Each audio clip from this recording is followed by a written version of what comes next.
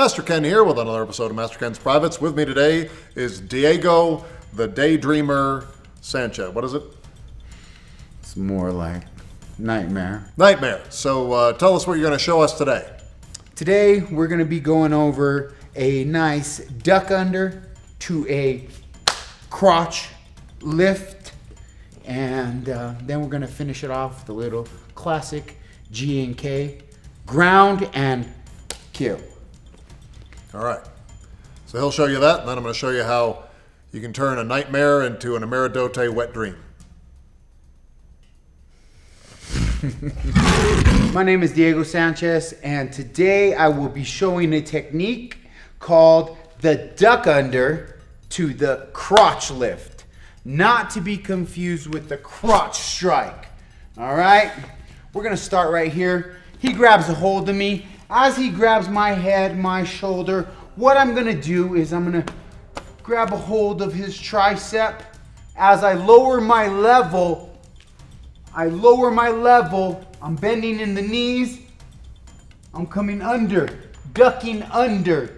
Hence the name of the move, duck under. All right. From here, I'm going to come with my crotch lift. Crotch lift. As I lift him, he's gonna come down, knee on the belly to secure the position as I prepare myself for my kill. Kill! Kill! Kill! And that is how it is done. All right, so my number one problem with uh, Diego the Daydreamer's technique is that uh, these techniques are not reality based. The only place those things you just watched would work is in a dream. But if you're awake and dealing with reality, this is what you're going to want to do. It's fine if you end up in a tangle with somebody, but you don't want to be ducking under. In Ameri-Do-Te, we don't duck under. We go duck hunting with a little technique I call duck, duck, goose. Duck, duck, goose. I'm to move into position.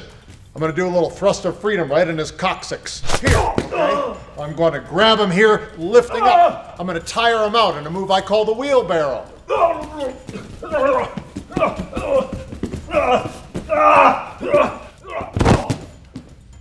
Then I'm going to finish him off with the Ameri-Do-Te version of G and K.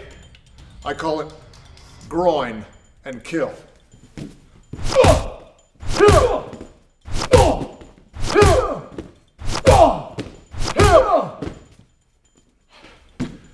And as always, restomp that groin. All right, that was another episode of Master Ken's Privates. I want to thank Diego for coming in and showing us how to elevate someone's crotch.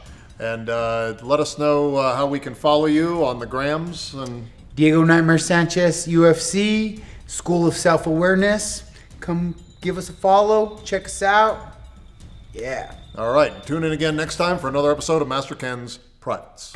Thanks for watching our video. Remember, you can order your own personalized video message from me, Master Ken, by going to Cameo. So whether it's a happy birthday, or you want me to tell you, or your instructor, why your martial art is total bullshit, go to Cameo and order your video message today. And remember, always restomp that groin.